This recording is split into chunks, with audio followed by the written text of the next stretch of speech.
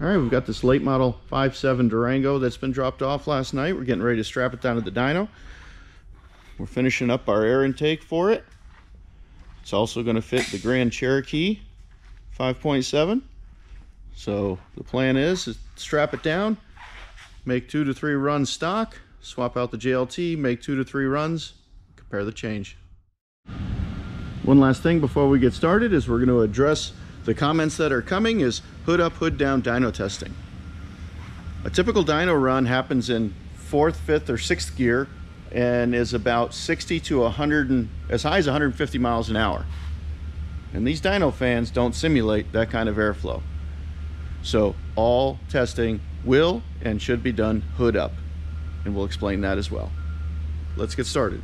Okay, it's 80 degrees in the shop right now. 50% humidity. We'll take a look at this. Stock air box and the inlet air temperature is 90 degrees. That's 10 degrees difference with the hood up. So hood up is not necessarily getting you cooler temperatures or anything better than what this car would see above 100 miles an hour you should see these exact temperatures with the hood closed going down the road at 100 plus miles an hour. So hood up, hood down is just a fair test for both sides.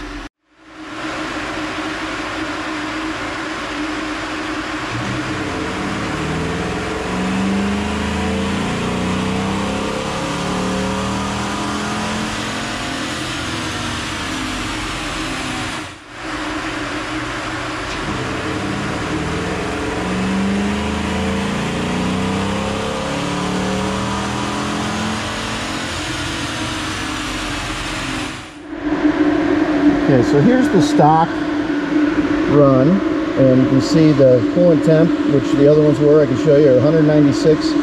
Air inlet temp is 93. We're still uh, low 80s, so about a 10 degree temperature differential uh, on the inlet air temp, even with the hood up. Um, and they were made to run at uh, just under 200 degrees. So we're going to shoot for that when we run the JLT.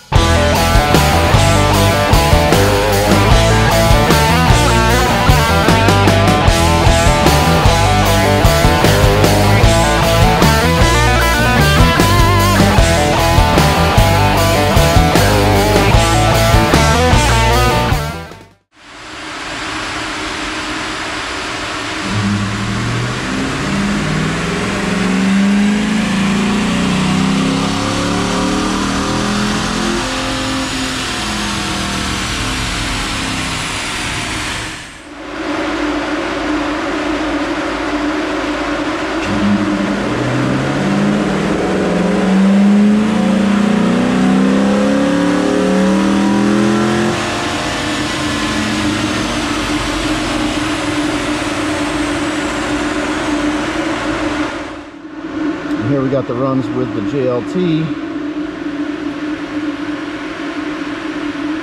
We're looking at same temps, 199 to 201 on the coolant temp, which is right where we had it with the other one. So that's real important when you're doing testing is to have all your conditions be the same. All right, well we made two to three back-to-back -back runs in each configuration, stock airbox and JLT, all while monitoring coolant temps and keeping everything the same. All uh, runs were started in the 185 degree temperature range and ended up in the 200 to 203 range by the, by the uh, second and third pull. Uh, let's take a look at the stock runs. So we got two runs back to back pretty consistent, but you can see in the middle here, it looks like we maybe had a little bit of heat and the, car possibly pulled a little timing. Um, we went ahead and made a third run. So we can see that uh, the green run's about the average. uh, 317 and 357 on torque. So good numbers, very good average numbers, but I don't like to play any games. I like to compare the best, even though that, that first red run is the first run of the day. The car sat here overnight, so everything was cool. That is giving that uh, stock airbox a major benefit. But let's go ahead and remove everything here. We swapped out the JLT.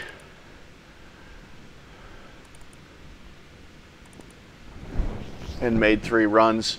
Again, very consistent. You can see where heat does play a role and you're going to lose, you know, some single digit horsepower and torque gains, but this is the averages you can see. So what I want to do is I want to go ahead and I want to compare the best JLT to the best stock airbox. I'm not going to do the worst stock airbox versus the best JLT. Pay attention out there. You're going to see people that do that, but here we go. Best JLT versus the best stock airbox. Peak numbers up here, you're looking at uh, 317 to 327. Uh, so you're looking at 10 horsepower, uh, 7 foot-pounds of torque. But throughout the whole RPM range, you're looking at 8 to 10 horsepower, even upwards of 11, 12 horsepower and foot-pounds of torque gain from the JLT over the stock airbox. Now this is the best of the best. Let's go ahead and also compare the second runs.